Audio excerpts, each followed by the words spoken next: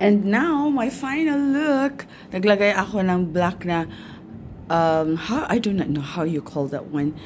Ayun. Kasi meron na naman ako matagal dyan na eye pencil. Hindi ko ginagamit. Actually, marami akong mga tinapon na rin na ano eh. Yan. Yan.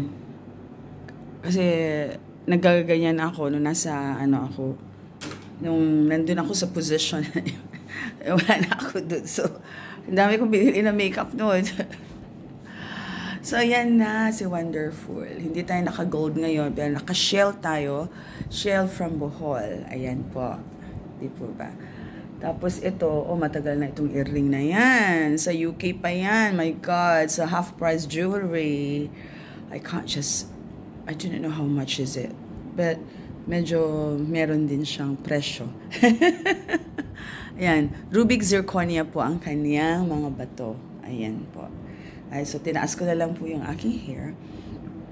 Diba? Walang kaso. Para na tayo si Nikki Cosette here.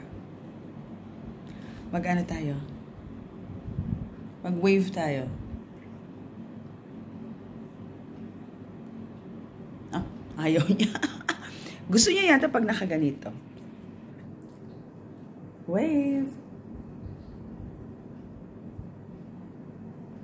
Ayaw pa rin. Para sa thumbnail sana.